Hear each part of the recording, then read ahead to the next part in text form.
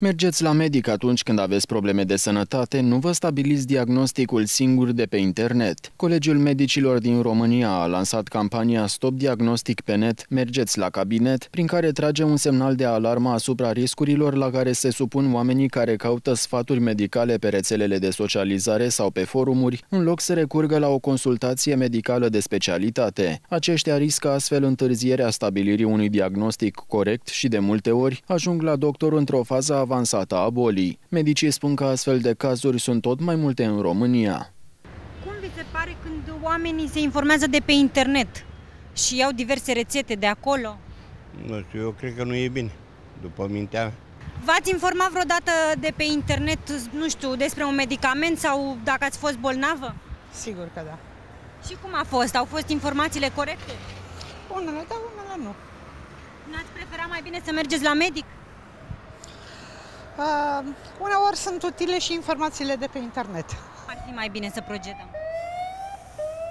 Ambele variante, și informarea și a merge la medic.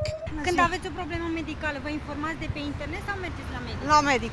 Ce faci? Te informezi de pe internet sau mergi la medic? La medic. Oricum am probleme și mă duc de fiecare dată.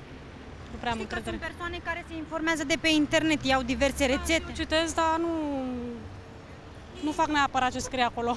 Adică nu am încredere până nu mă duc la un medic. Cine poate medicul. fi pe internet?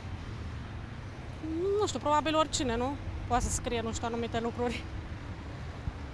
Categoric nu este un medic. Uh, Da, cred că sunt și medici de multe ori am văzut, dar nu știu, nu am încredere.